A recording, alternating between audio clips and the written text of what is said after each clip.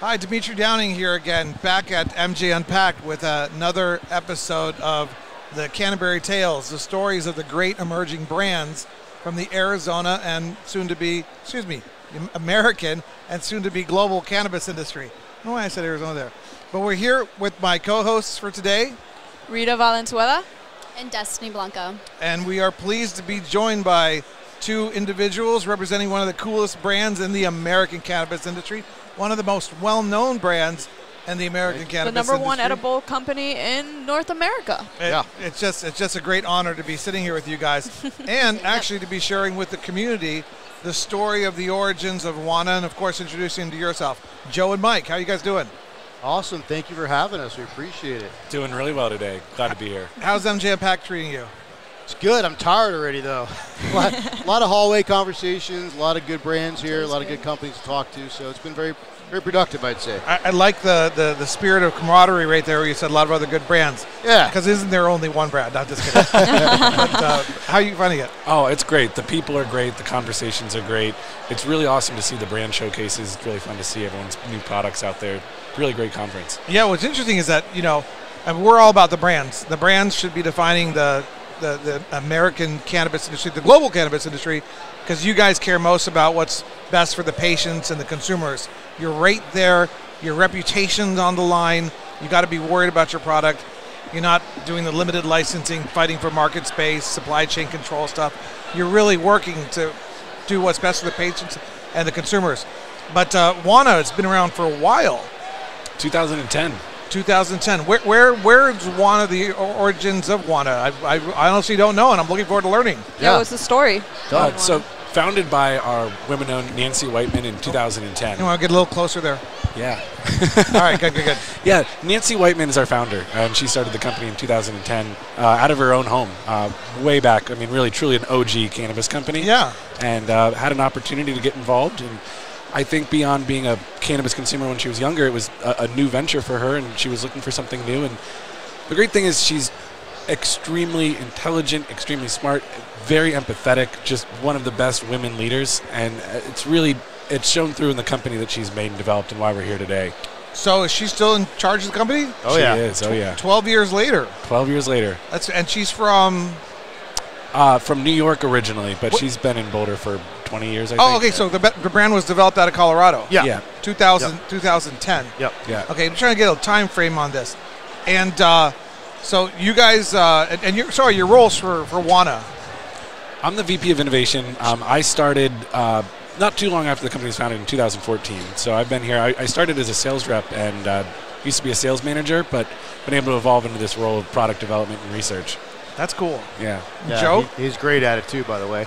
Uh, so I've been with Wana for about two and a half years. In fact, my first week at Wana was when they started doing lockdowns for COVID. So I actually started out of my basement and you know kind of had to meet my whole team that way and Late, get to know the late company. March 2020. Yeah, late March Wow. 2020. Um, but you know, I've been in this industry since about 2012 in different capacities, different companies, and uh, and I'd always known Wana and Nancy. You know, back to the point of camaraderie. I mean, Nancy and I knew each other within the first few months of me being in the industry, and I just had such respect for her. We just had a, a good relationship, so it was a very natural fit for me to just kind of move right into that role. Origin. We're happy to have him. Excellent. So, and we have some Wana product here today. I, I imagine you guys have so many SKUs and so many different types of products. I don't know the Wana line that well. I'm familiar with your edibles and, and stuff, but uh, let's start with. Uh, well, we can either start with that or what states you guys are in, um, and, and your expansion plans. And your current. which would you prefer to talk about first? Let's talk about the products. Let's talk about products. Are cool. Okay. You know, to simplify things for someone new to Wana, we have four primary lines of products. We have classic edibles. These are going to be a distillate product, coming indica sativa hybrid, and ratios of CBD, THC, several different levels. That's kind of like our entry level line. It's what we started with in 2010. Then the next product we developed and formulated was our uh, quick products. So these are fast acting products uh, that kick in quickly, take effect in five to 15 minutes. Um, and offer a, a different high, more of a smoker's high, a delta 9 THC instead of 11 hydroxy. So it's not as sedating, not as long lasting. Um, really, probably one of my favorite product lines. Um, and then after that, we started working on our Optimals line. So these are products that are designed to really deliver on the promise of the plant. And so we say they're going to do something and they deliver on that effect, whether it be for sleep or for fit, or we're working on products for uh, anxiety and relaxation. They're Right. all under our Optimals line. And then most recently, we've taken our Quick technology, the, the Wana Quick line, and paired it with fresh frozen live rosin extracts. So we have four flavors with four specific terpene profiles uh, of live rosin that are all infused in the fast acting technology. And uh, those are just available in Colorado right now, but looking to expand into new states. So, uh, and, and moving on to that, and, and you know, that's some great information. Uh, I, have, I had a really important question that I wrote down. Well, we're going to get to that. The real question is why Wana, but we'll get to that towards the end. Uh, states you guys are in because uh, you know people out there like, how can I uh, try Wana, and other people are like, how can I work with Wana? Are they looking for licensing deals, etc.? So, what states are you guys in now uh, available? So, so we're at about uh, 15, I think 17? seven, 17? 17 state. Let's go split the difference. We're in 16 plus Canada uh, and Puerto Rico. And so, you know, really it's a presence on the East Coast, or sorry, yeah, East Coast like Florida, Maryland, Massachusetts. We have the Midwest, we have Illinois, we have Missouri, we have Michigan. And then you got, you know, the West. We're in obviously Colorado. Uh, we're in uh, Nevada, obviously here where we are today. So really kind of spread out throughout the country because it used to be when people would say, "How do I get Wana?" Well, you got to come to Colorado and buy some, right? Right. Now we're pretty much available everywhere. And the great thing about the the product line that Mike was just describing is that it gives us an opportunity to, to constantly bring new products into the market because we don't launch a market usually with the entire suite of products. We kind of drip them in over time. So we're constantly innovating and bringing new products to the market. And that's part of the, the strategy we have for our expansion. And, and 17 must be some some kind of record. Are you? Is there? Does BDSA track that? Are you, You guys know- the brand in the most states? We believe we are. I don't think I've done a count recently, but yes, that, that's one of the things we say biggest footprint of an edibles company. That's Plus nine Canadian provinces, so Yeah. really covers North America. Yeah. right. And You guys are only only gummies, right? Well, we don't like to say only gummies. Um, and, and positive you know, words, Mike will positive speak. words. Mike can speak this more passionately than I can, but really, gummies are a, a delivery system for us. So Right. we happen to make a great tasting gummy. So don't get me wrong; it's a, it's a great product, but we look at it as a delivery mechanism for cannabinoids, and it happens to be very effective and efficient at that. So we haven't seen the need to to find another delivery format. right. Well, I mean, you're doing what you're doing so great. I mean, Yeah.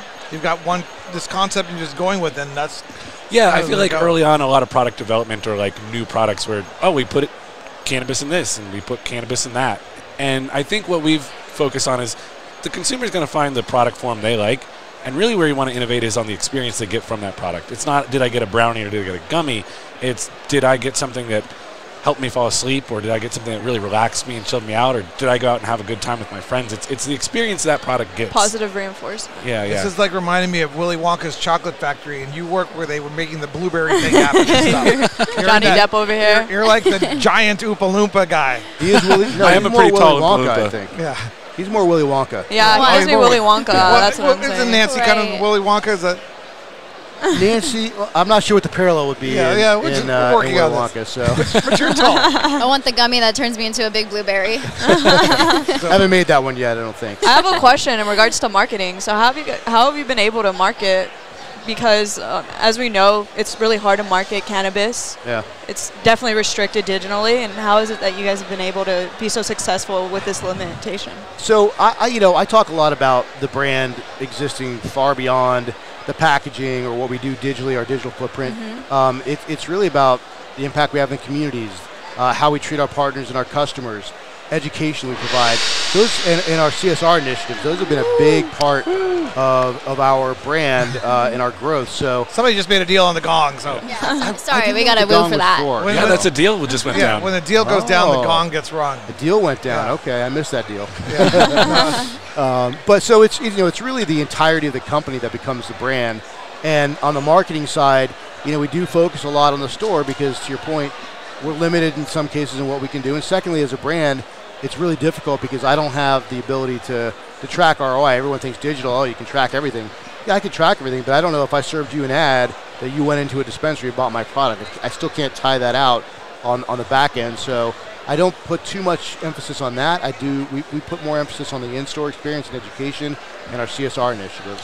Okay. And you know, everybody in America seems to know. I mean, in the, our cannabis industry at least, uh, seems to know Wana at this point. Is there a moment where you guys like can reflect upon and think to yourself, "Wow, it's it Wana's really taking off"? I mean, I think it was actually really interesting. So in 2014, I think it was, or maybe it was 2015. I mean, this is you've got Colorado, Oregon. I, I think that's about it. And Nancy was already saying, "Let's strike a deal in Oregon. Let's start making one in Oregon." And I don't Right. think anyone was thinking, "Let's do this in more than one state" at that point in time. It was just keep the business alive, deal with regulations, deal with the new emerging industry. And Nancy already had a mindset on national. I mean, she was already moving there.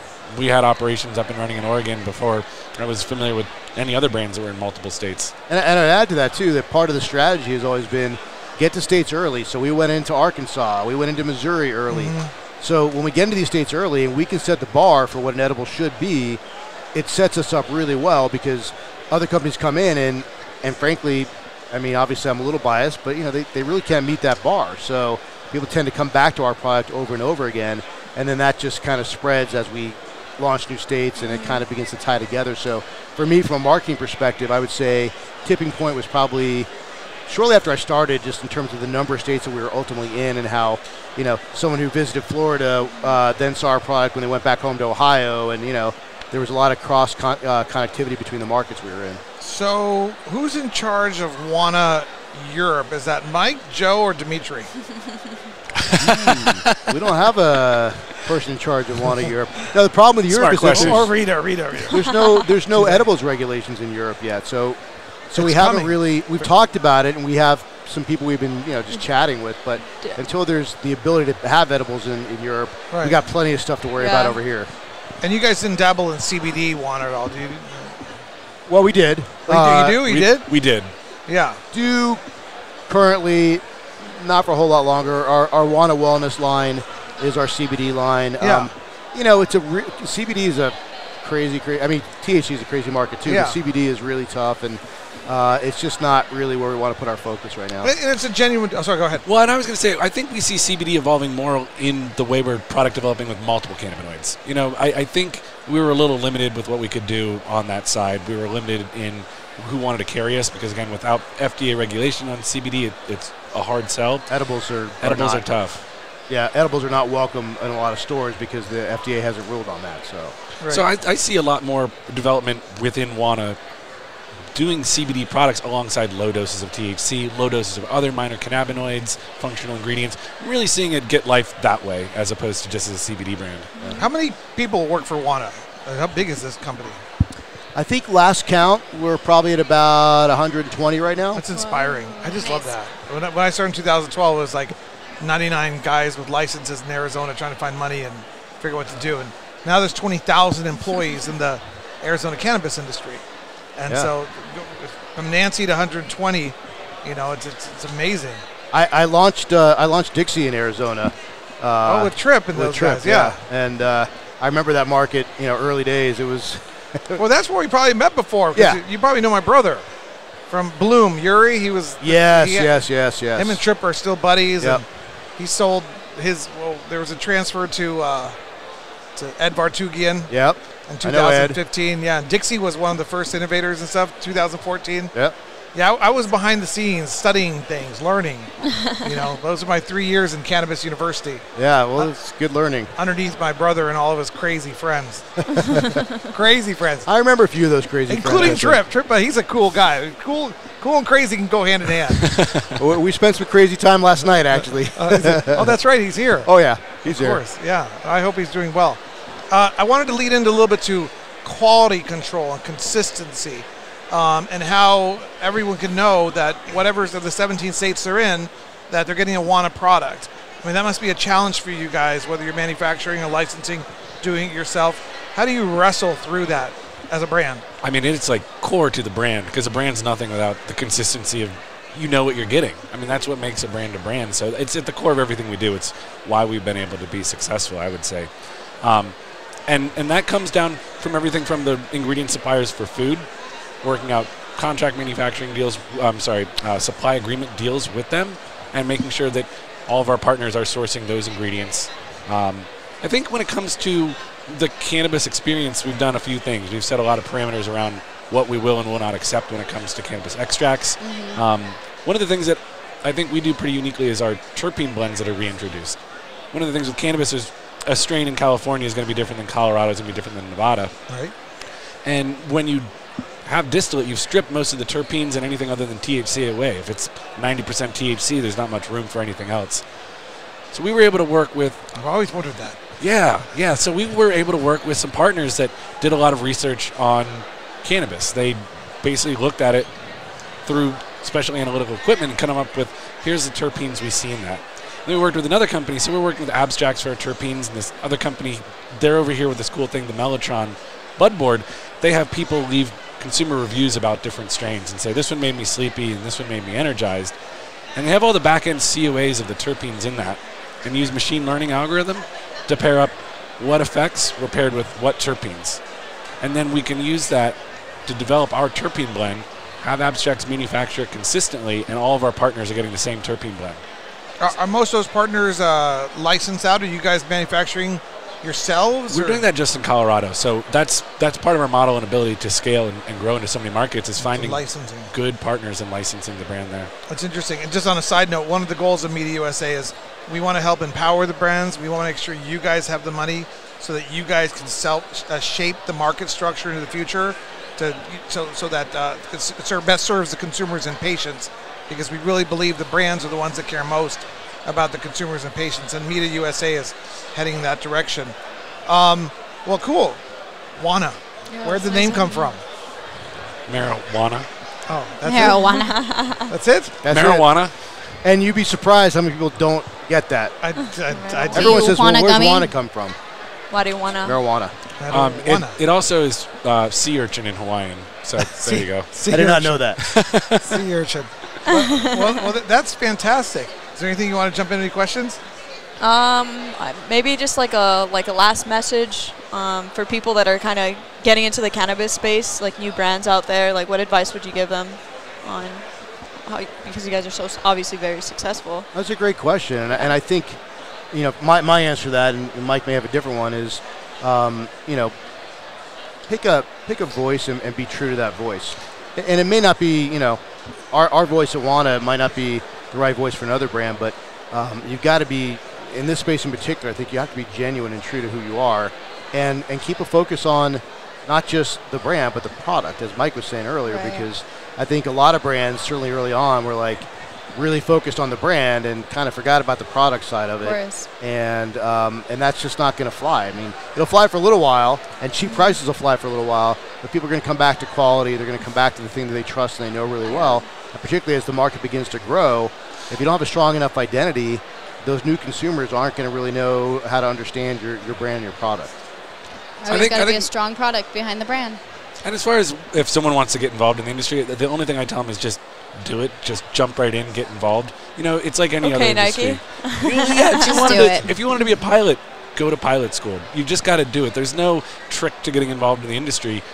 Come to events, meet people, start asking questions, do your own research, Mm-hmm. and find what you can bring and what you can offer, and, and do it. I mean, it's it's it's that easy. There's nothing. There's no trick to cannabis. It's it's Yeah. coming in and learning it like any other industry and joining us. Some you- great advice. You guys are great representatives of a great brand, and, and it's been a real pleasure to get to know you more, Joe and Mike. Uh, real quickly, best way for people to reach out to you: LinkedIn, email, Instagram. Um, LinkedIn is good. Uh, email, Instagram, not so good. Uh, I would say, yeah, LinkedIn uh, and email. So at Joe Hodas is uh, my LinkedIn. At Joe Hodas. How do you spell that? Well, we're gonna have that on there, yeah. right, Destinee? Yep, we'll have it right on there, right over your face. And Mike Just Hold out your hand Mike right Hennessy, yeah. And so what's that? Right here. Oh, yeah, yeah, she's gonna put it up there. It's all digital enhanced at the end. It's Yes. like, okay, I'll give you a high Don't five. worry. You know, she might just digitally put on an Oompa Loompa over there. But I'm glad, you know, I'm, I'm not, I'm not, I'm not the kid that was going to steal the gumball, but I'm, you know, so I'm glad you shared with us some of those secrets. So uh, about It's how, very how. Wana works. We'll keep La- working on that blueberry. Last thing, and you guys are lucky. Eric was going to be here, but you guys were ended up being the. We're, Uh, we're all lucky. yeah, no, you. But as as representatives of Wana here today, we're going to give you uh, parting gifts for joining Mita's uh, podcast, Canterbury Yes, Tales. Thank you so much. These are these are joining high. Cool. yeah no you guys got to wear them. They're high pure point silver. dog tags, pure silver. they have a value, so don't don't don't just be giving them away. Awesome. But we really appreciate you guys. We really appreciate want to wear them. They're Freedom dog tags. Uh, Glenn Murray, uh, Pam I know Murray's. Glenn. You know Glenn. Pam Murray's husband designed them. He passed away last year, and uh, he, he him and I bonded, and he helped me understand that the undercurrent of the entire cannabis movement is freedom, it's choice, and uh, the Freedom dog tag represents that. So wear it proudly, and thank you for being on Canterbury Tales. Yeah, this is Thanks a lot for of fun. having us. Yeah. Appreciate it, guys. Thank you. Thank Oh, you. thank you so much for joining us. Thank you. This is another episode of uh, Canterbury Tales.